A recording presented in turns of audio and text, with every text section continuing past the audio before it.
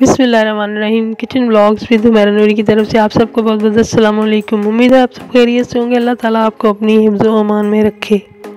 सर्दी का मौसम है और आजकल आप देख रहे होंगे कि मौसमी जो है वो प्रॉपर मकदार में हर तरफ़ आपको मिल रही है। तो मैंने यही सोचा है कि इस बात का फ़ायदा उठाता उठाते हुए आपके लिए बनाऊँ बहुत ही मज़े की मौसमी की स्मूदी। इसके लिए मैंने लिए हैं दो दूध केले दो मौसमी बर्फ़, तीन खजूरें लिए हैं तीन मैंने इंजीर लिए हैं पाँच बादाम थे और तीन ही काजू थे।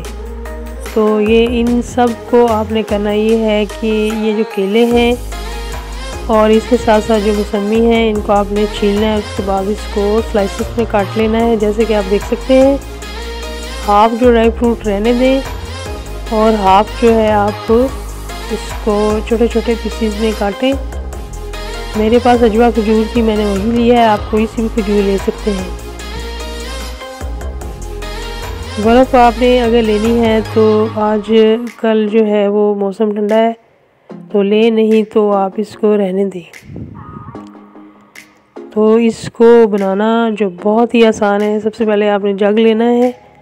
इसके अंदर आप मौसमी के बीज निकालने के बाद जो स्लाइसिस आपने काटे थे, वो डाले हैं। फिर आप इसके अंदर केला डालें और जितने भी ड्राई फ्रूट और उसके साथ साथ इंजीर और खजूर थी और साथ में बर्फ़ आपने इसके अंदर डाल देनी है और इसको आपने चलाना है तकरीबन पाँच से छः मिनट।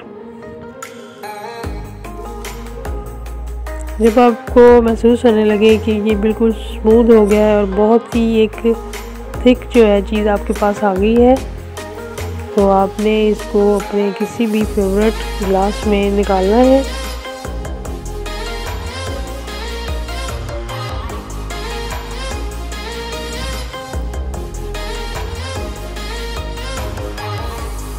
इसके बाद आपने इसको ड्राई फ्रूट जो कि आपने थोड़ा सा बचा के रखा था, जिसके अंदर एक अंजीर थी, एक ही खजूर थी दो बादाम और दो ही काजू थे। तो ये इसकी कटिंग करनी है। आपने छोटे छोटे पीसीस भी, उसके बाद इसके ऊपर आपने सजाना है। साथ में हम मौसमी के एक्साइज भी लगा दें और फिर आप इसको खूब सा इंजॉय करके पिए।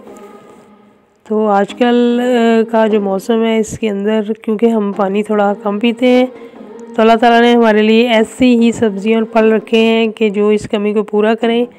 और अगर आप इस स्मूदी को बनाएँगे तो बखूबी आपकी कमी जो है ये पूरी हो जाएगी। जो मैंने इसके अंदर केला डाला था, आप उसको मुझे बताना शुरू में भूल गया कि उसको आप फ्रिज में रखें एक से दो घंटे ताकि वो अच्छी तरह जो है वो चिल हो जाए। वैसे भी आप इस्तेमाल कर सकते हैं, लेकिन अगर इस तरीके से करेंगे तो ये आपकी मज़े की स्मूदी तैयार होगी। तो इसको आपने बनाना है, उसके बाद आपने खूब सा सर्दी को एंजॉय करना है। इंशाल्लाह फिर मिलते हैं। सर्दी की किसी और बहुत ही मज़े मज़े की रेसिपी के साथ। तब तक के लिए मुझे दें इजाज़त, अपना रखें ख्याल। अल्लाह हाफिज़।